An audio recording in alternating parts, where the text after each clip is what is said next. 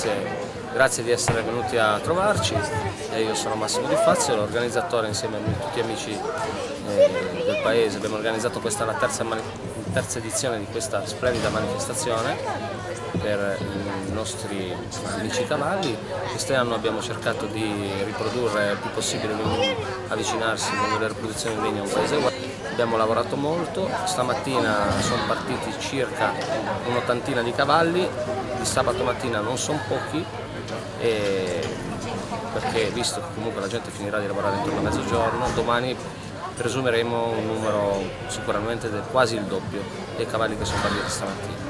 Adesso vedo che ci sono molti bambini già presenti, abbiamo lavorato tanto anche per loro, abbiamo contattato un indiano, un vero indiano d'America che si chiama Kakaoma, che farà animazione per loro, abbiamo fattorie didattiche, ci sono i poni che portano in giro i bambini, cerchiamo di eh, far ricordare, ricordare fargli vivere il vecchio paese del West anche a loro, in modo che si possano rendere conto come erano i tempi passati.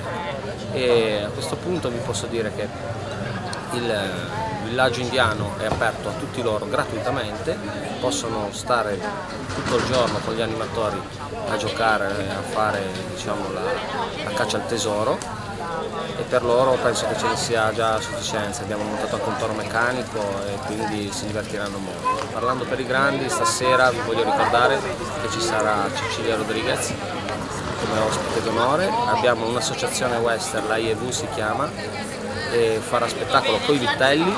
E poi um, super finale sarà un attacco al carro, un, un vero attacco con i banditi, abbiamo i, band i fratelli Balbis che sono i, i, banditi che rincorreranno questo carro e poi uscirà lo sceriffo a fermare, eh, a fermare diciamo, questi banditi. Grazie.